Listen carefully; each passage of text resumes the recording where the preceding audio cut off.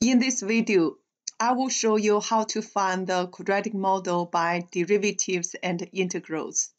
To find the quadratic regression equation by derivatives, I need to set up for f prime of p equal to 0, which means uh, p is the x-intercept of this uh, f prime of uh, x.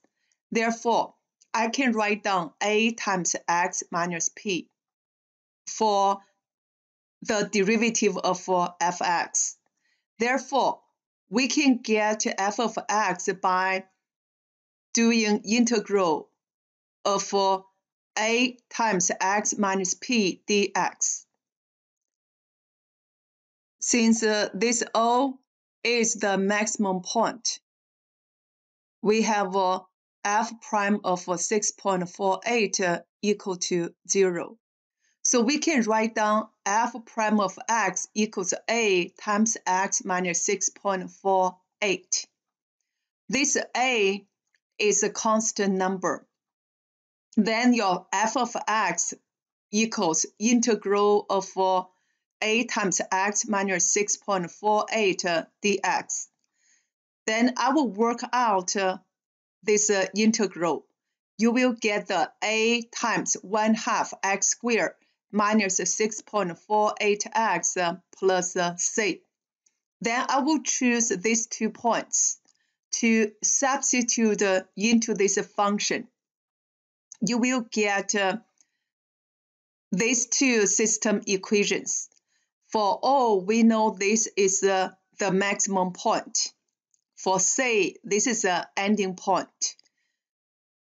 By solving the system of equations above, we get A equals negative 0.263, C equals 2.70. Therefore, for the quadratic regression function by derivative method is uh, y equals negative 0.263 1 half x squared minus 6.48x plus 2.70. Then you simplify, you will get this y equals negative 0.132x squared plus 1.70x plus 2.70. Then I will put this into Desmos to check uh, how well it fit the curve. I put this uh, quadratic uh, model given by derivatives into Desmos. Then you could see how well it fit the curve. I will download the image and copy to the Word document. Now I got figure 4. y equals uh, negative 0.132x squared plus 1.70x plus 2.70 given by derivative and the curve of trace of the basketball.